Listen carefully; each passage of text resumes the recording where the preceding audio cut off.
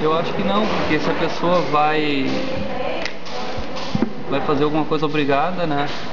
Ela talvez vai de má vontade, vai lá porque tem obrigação de ir e não vai responder, não vai votar pensando com consciência. Então é muito pior, eu acho. Eu acredito que o voto é um momento de maior importância com relação ao exercício da cidadania, né?